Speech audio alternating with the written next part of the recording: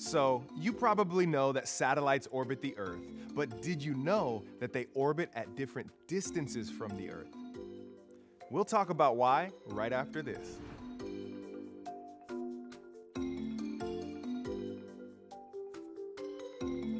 First, let's learn what the different orbits are called. There's low Earth orbit called LEO. LEO satellites orbit at the lowest altitude, just a few hundred kilometers above Earth. Then, there's medium Earth orbit, or MEO satellites. These satellites orbit a few thousand kilometers from Earth. And finally, we have geosynchronous, or GEO satellites. These satellites orbit way out there at around 30,000 kilometers. And the satellites in each of those orbits do different jobs. To tell us more about that, let's go to our friend and resident satellite expert, Jean-Luc.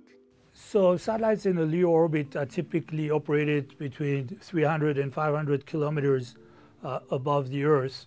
So the advantage that they have is that they're so close to the Earth that the latency, the time it takes for a signal to go to the satellite and back to the Earth, is very short. It's about five milliseconds.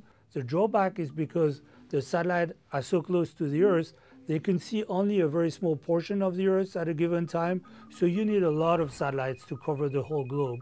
You need typically hundreds of satellites, thousands of satellites to cover the globe.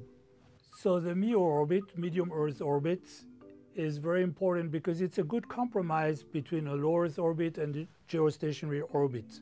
You don't need the hundreds of satellites that you need in a low Earth orbit to provide a full coverage of the Earth. With the geostationary orbit, you only need three satellites, equally spaced on that orbit, and you have a full coverage of the Earth.